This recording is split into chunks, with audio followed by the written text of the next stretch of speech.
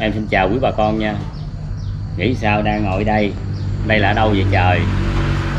Mình nói mình về Việt Nam mình sống rồi mà mọi người cứ nói mình là thôi đi đừng có xạo. Ủa, xạo gì trời? Thì về đây rồi xạo gì nữa? Không thấy ngồi đây là quê hương Việt Nam sao? Khung cảnh này khung cảnh gì mà xạo chứ không xạo trời. Rồi, đất cơ tôi cũng bó tay với mấy người đó luôn á. Tôi điên vòng à, cái khung cảnh nhà tôi cho quý vị thấy nha. Tóm lại cho hôm nay cũng à, À, không cho quý biết là tại mình cũng xây xong cái nhà rồi. Đang dọn dẹp nó còn bề bộn lắm. Đó cho nên là chưa có cho mọi người, mọi người biết thôi. Đây nè. Vậy thấy không? Thì ở đây là cũng sắm được chiếc xe 7 chỗ đi tới lui cho nó tiện. Đó. Đây cái căn nhà căn hộ mình đây. Sống đây thấy gì sao? Được không nè? Đó. Đó, xây nhà cấp 4 thôi. Đó, điều quan trọng mình là quan trọng nhất là cái chỗ thờ phượng nè. Đó, chỗ thờ cúng cho đàng hoàng. Đó, mình là chỉ quan trọng chỗ này thôi. Đó, đây là cái khu vườn sau lưng nhà mình. Đây cho quý vị thấy. Đó đang ờ, dọn dẹp lại đi cái nhà cũ phải tháo ra cho nên bề bộn lắm. Đó. Thấy sao? Đất còn rộng mênh mông mà. Mít cây sòi tùm lum hết trơn á tôi còn xây được cái chỗ này vui lắm nè. Ra đây cho bà con coi nha.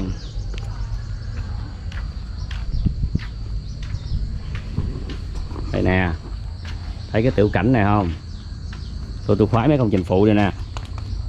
Đó ở đây nè. Chiều chiều ngồi ở đây. Uống trà.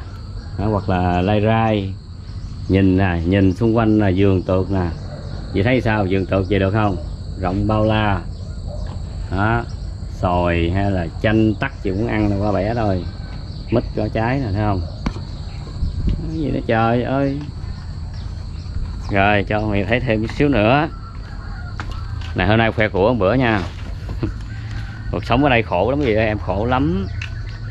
Khổ lắm cho nên là phải quay cho cả nhà mình coi khổ như thế nào. Đó đây thì à, à, đầu tư à, một chiếc xe tải đi. Việt Kiều về đây ngon đầu tư với xe tải để mà chở uh, trái cây kiếm tiền còn đằng kia một chiếc xe du lịch để đi chơi. Đó vậy hai chiếc là một cái để kiếm tiền một cái đi chơi được rồi. Đó vậy thấy được chưa? Bảy chỗ Innova thôi đời cũ cũ được rồi. Vài trăm triệu tính là có nhiêu đâu. Được chưa nè? Đây trái cây là bao la chưa? Thích trái nào thì bẻ cho đó mà ăn thôi.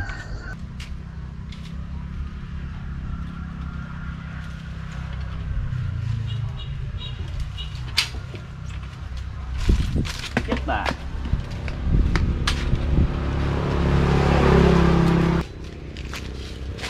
hai có hai cây sòi này ngon quá. Ờ, Ơi bẻ cho em khỏi bà khỏi cắt.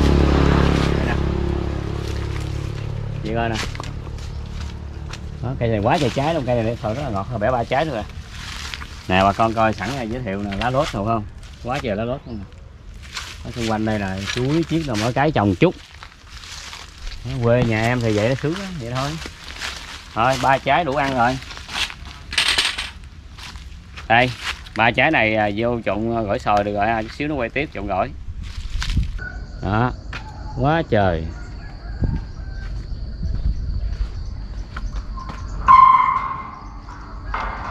Đây, con đường tỉnh lộ. Con đường tỉnh lộ nào, nhìn thấy không? Rộng rãi, xe hơi chạy, bây giờ thì nó chưa có nhiều xe đó, miếng đất của em á nó bị chia làm đôi. Như vậy thấy á chia làm đôi nè. Đây một miếng. Bên đây một miếng. Đây thì xây cái nhà để ở. Bên đây để xây cái nhà để ở nè. Đó. Hồi xưa miếng đất này mua rộng lắm. Mà xưa miếng đất này trên 2.000 mét vuông. Trên 2.000 mét gì nhưng mà sau này á, là bị chia làm đôi ra. Nên một bên á, thì để cất nhà một bên thì à, để chơi thôi. À, bên đây thì em à, về thì quý vị biết nè đây mồ mã của à, ông bà là phải lo giữ gìn em để em kỹ lưỡng vậy này mồ mã lắm quay cho cả nhà mình thấy. Em về Việt Nam là tại vì sao? Phải lo cho mồ mã ông bà. Sau này mình cũng giữ tròn cái đạo hiếu. Đó. Vậy coi nè. Đây là cái khu mà thờ phượng khu mồ mã. Thì quý vị coi đây hai hai cái mã của ông bà tổ tiên. Đó. Thì xây mã mồ thì em đang làm con đường đi lên nè. Đó để cho bà con đến à, giờ đến mà để uh, thắp hương đồ không có bị uh, dơ cái chân. Đang làm mấy công trình phụ. Ở đây thì cũng có được một cơ số mít. Đây, đi vòng vòng đây cho bà con thấy luôn.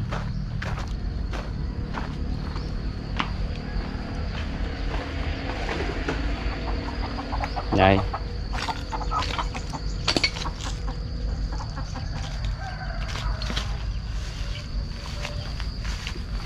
Ở chỗ này á sau cái mã này nè quý vị thấy không? Là em sẽ làm một cái hàng rào để che lại cho đỡ sợ. Thì còn một miếng đất bự này nè. Đó, sau lưng cái mã này quý vị biết nè khu này còn một cái miếng đất rất là bự. To thì là to luôn nè. Đó. ở dưới này là một cái bờ sông thì có thể xây thành một cái ờ, một cái công trình phụ dù xây mấy kiosk để cho thuê. Đó, xây mấy kiosk cho thuê buôn bán hoặc là xây cái cà phê cà phê ờ, à, võng cho bà con đi ờ, đi ghé đây uống hoặc là xây một cái chỗ ăn uống nhỏ nhỏ. Thì công trình phụ em làm rồi là cái nhà mình. Trước đây mấy năm á thì em ý thức được cái chuyện đó nên nó làm cái công trình phụ rồi đổ một cái nhà cái nhà sàn nhỏ nhỏ nè. Bây giờ thì nó hơi nó hơi cũ một chút nhưng mà để đang chuẩn bị là sửa, sơn sửa lại tại vì để ba bốn năm rồi. Chưa có làm gì cho nên nó bị ờ, ấy. Nhưng mà lá thì mình thay dễ. Đó hôm nay em sẽ làm lại chỗ này. Làm không? Ngày xưa đó cái đường ờ, đường đi là vậy đó.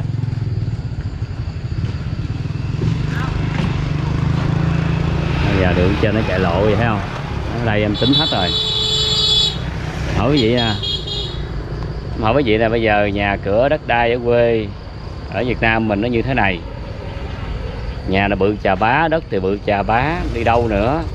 Buôn ba chi cho nó cực còn bây giờ tuổi cũng đã gần 50 rồi. Thôi, lo về mà an dưỡng tuổi già là vừa rồi thì thấy không? Cho nên mỗi nhà, mỗi cảnh, mỗi cây, mỗi hoa thì cho nên mỗi người có quyết định nha. Không nói là em hay hay là em suối người theo nha, tại vì mình thích thì mình làm theo kiểu của mình thôi tôi tôi mê cuộc sống ở quê đó. Có bà con dòng họ.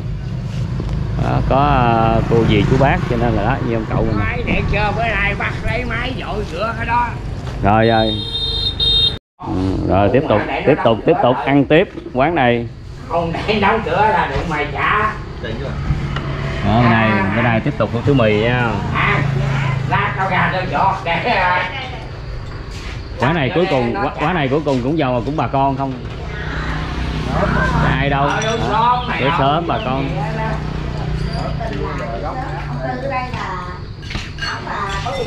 Đây đây đây đây là sư phụ tôi nè đó. Thôi, đúng mà.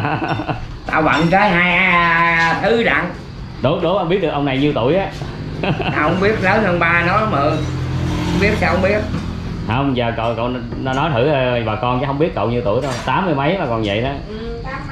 Ngon lành chưa? Ngon lành luôn dễ gì kiếm được ông già là tám mấy vậy? Thôi nạt nạt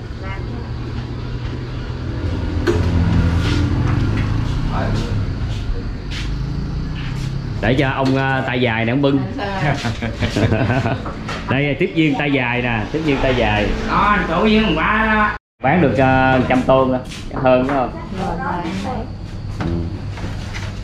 Bà con mình ăn không một vòng nữa thôi cái tối là trên cầu á cầu nó có người đi ăn phải không?